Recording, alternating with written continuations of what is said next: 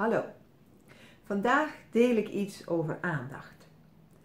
Aandacht, voor de meeste mensen is dat wel duidelijk. Aandacht is iets met aandacht doen en uh, ja, alert zijn op wat er gebeurt. Nou, ik weet nog dat ik uh, toen ik in Nepal was en uh, de berg aan het beklimmen was, dat daar de beste les voor aandacht, met aandacht iets doen aanwezig was.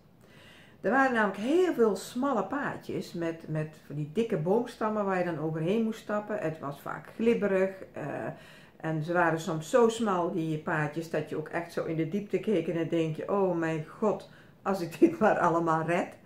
Uh, maar daar was het dus heel erg van belang om met aandacht je stappen te zetten. En het grappige was dat ik daar voor mezelf ook bemerkte van als ik dat deed, dan, dan stond ik ook veel meer in mijn kracht dan was ik ook veel dichter bij mezelf. Dan was ik ook veel alerter. Dus als er onverwachts iets gebeurde, ehm, dan kon ik daar ook heel snel op reageren. En dat was de mooiste les die ik daar ooit in gehad heb. Die ik nog eigenlijk met regelmaat terughaal van, oh ja, dat is met aandacht dus iets doen. Nou, dat was de berg beklimmen, maar met aandacht dus in het dagelijks leven iets doen, geeft ook een andere staat van zijn. Nou, ik wil je uitnodigen om deze week voor jezelf, of misschien als je met klanten naar buiten gaat, als je iemand aan begeleiden bent, dat ook eens heel bewust in te lassen. En doe het maar een paar minuten, maar je zult het verschil merken.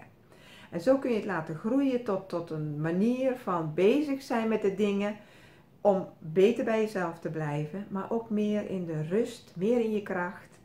En je zult zien dat het een hele andere beleving bij de zaken geeft die je aan het doen bent. Veel plezier!